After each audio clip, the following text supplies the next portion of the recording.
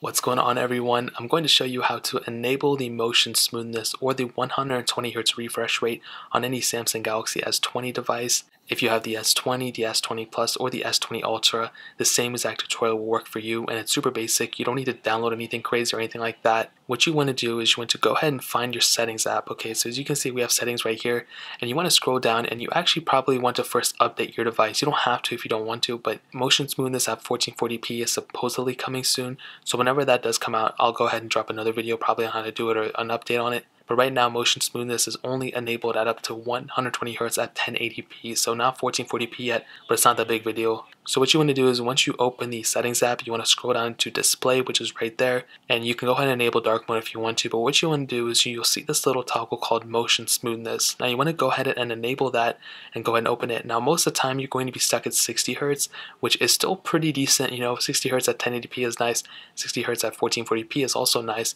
but the best thing ever in my opinion is that 120 hertz refresh rate. So what you want to do is you want to click that and you want to click apply. So it'll take like a second or two to go through. And then from there, you can also modify whether you want to go back to 60 hertz and everything. And that's really how you enable it. You just want to click high refresh rate and click apply, and that's really it. And it'll go ahead and respring whatever the case is.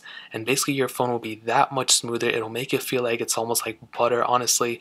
Now, it doesn't speed up your phone or anything like that, but it gives the illusion that it is a smoother experience, which is really nice. Now, what I will tell you is that it's not all perfect. This does suck up a little bit of battery life. It's not the end all be all, though. It's not like the end of the world, but that is something to keep in mind. The battery life might go down a little bit when you have 120 hertz refresh rate on, especially if you have 120 hertz at 1080 at 1440p.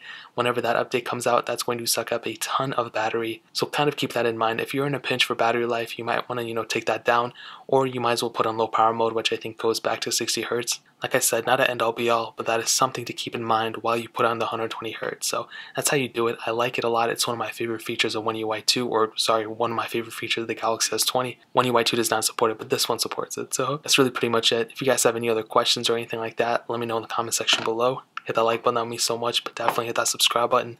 Every single subscriber that we get really does count so it means so much if you guys could hit that. Also check out the other links down in the description as well. My twitter my instagram my second channel all those links are linked down below. I'd really appreciate if you guys could check it out. More importantly everything else i love every single one of you guys. Hopefully i'll catch you guys in the next video. Peace out till then